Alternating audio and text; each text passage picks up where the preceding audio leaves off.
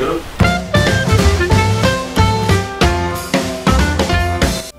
최근 고속도로 휴게소 세 곳에 수소 충전소가 추가로 문을 열었습니다. 호남선 백양사 휴게소와 중부 내륙선 성주 휴게소, 경부선 언양 휴게소에 충전소가 새로 생긴 건데요. 영업 시간은 오전 8시부터 밤 10시까지 수소 1kg당 8,000원대로 이용할 수 있습니다. 한 대학 교수가 먼저 세상을 떠난 아내의 이름으로 장학금을 기부해 잔잔한 감동을 줬습니다.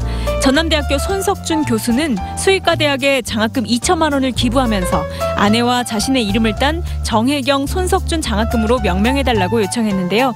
손 교수는 아내가 생전에 아끼던 강아지가 수의과 실험 후 분양받은 강아지였고 아들도 수의과 대학에 들어가는 등 인연이 깊어 기부를 생각해왔다며 먼저 간 아내도 무척 기뻐할 것 같다고 말했습니다.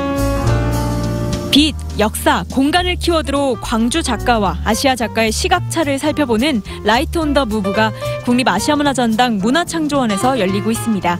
이번 전시에서는 광주 정정주 작가와 인도네시아 랑가 뿌르바야 작가가 설치, 미디어 아트 작품들을 선보이는데요.